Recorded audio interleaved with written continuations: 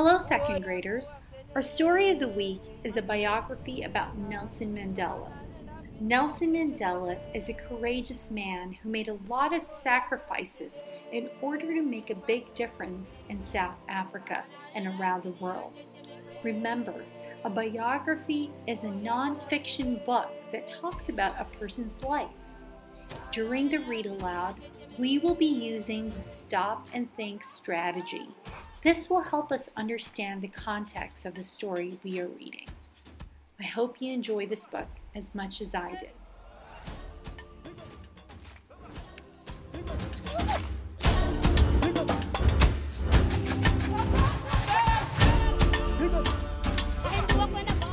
Nelson Mandela Words and Painting by Kadir Nelson. Rolihlahla played barefooted on the grassy hills of Qunu. He fought boys with sticks and shot birds with slingshots. The smartest Madiba child of 13, he was the only one chosen for school. His new teacher would not say his Xhosa name. She called him Nelson instead. Nelson was nine when his father joined the ancestors in the sky. To continue his schooling, Nelson was sent miles away to live with a powerful chief. Brace yourself, my boy. His mother held her tears and said goodbye.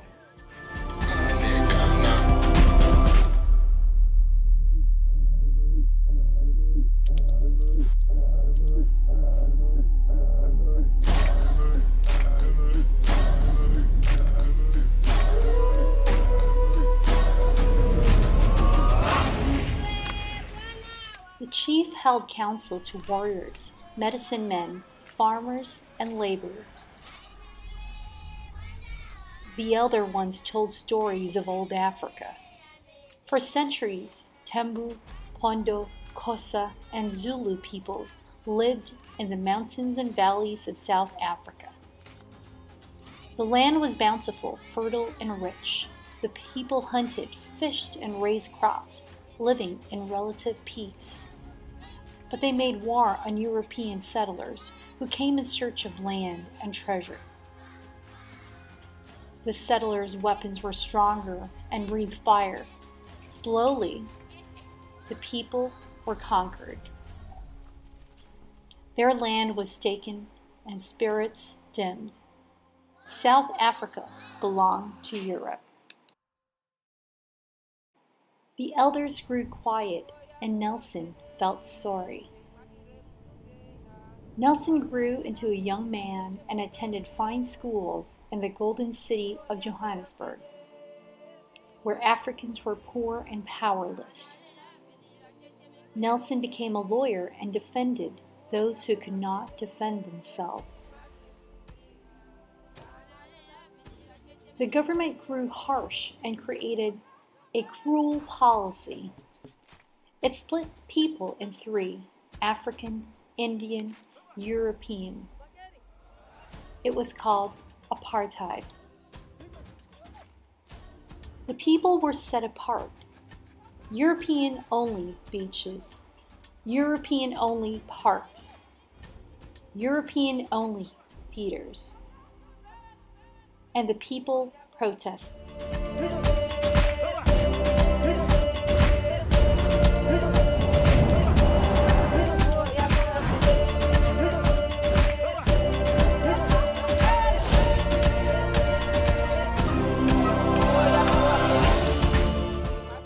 Nelson organized rallies to fight apartheid. We must win back Africa, he told them. South Africa is for all South Africans.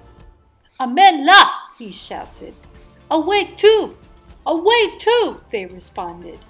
Power to the people, and the people loved him.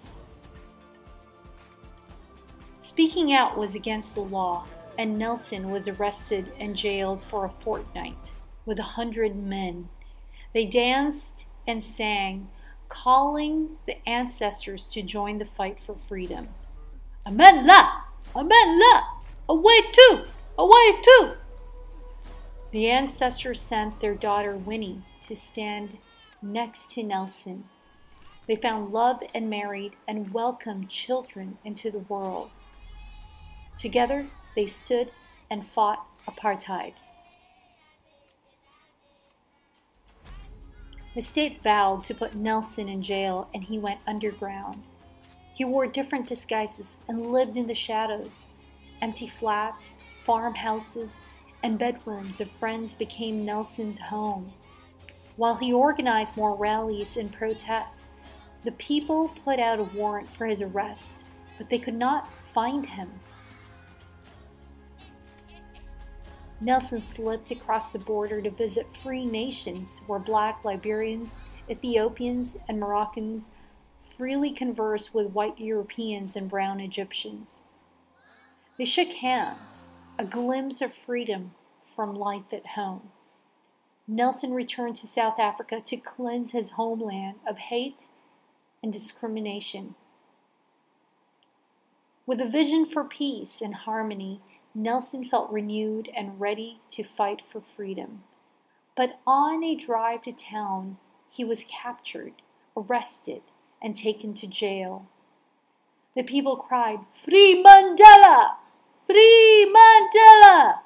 Wet paint and posters covered South African walls. On a small island off the coast of the southern tip of Africa, Nelson sat in a tiny cell. Every day the world passed him by cold mealies, thin blankets, hard labor. Nelson hammered rocks into dust and read, studied, and educated fellow prisoners.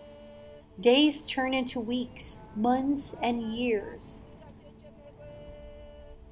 His children grew up, relatives passed away,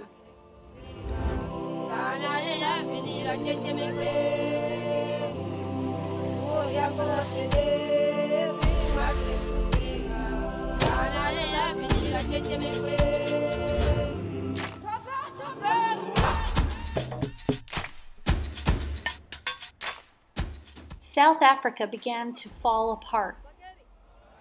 There were more protests, more rallies, and violence. The people needed a leader. Nelson snuck a message to the people I will return. As years passed, the world pressed South Africa to change. The new president agreed, and European only signs came down. Beaches, parks, and theaters opened. Nelson's comrades were set free. Apartheid was no more.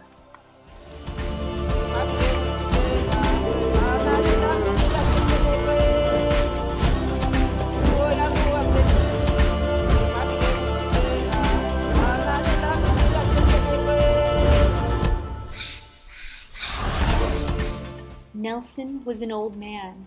After 27 and a half years, the prison gates opened and Nelson was at last set free. Thousands surrounded him, and Winnie hugged him. Nelson looked into the sky and smiled at the ancestors. Amandla!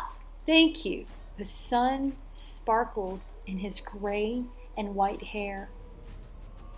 Nelson stood proudly with the wind at his back and spoke to a colorful sea of people. We must forget our terrible past and build a better future for South Africa. Let us continue to fight for justice and walk the last mile of freedom. Millions were given the vote and elected Nelson Mandela their new leader. South Africa was free at last and finally at peace. The ancestors, the people, the world celebrated.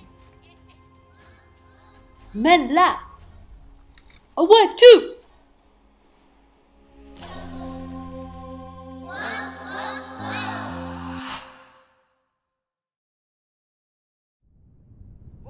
Yangu wasenesi mwakire mtuzeha sana nendafinira chechemekwe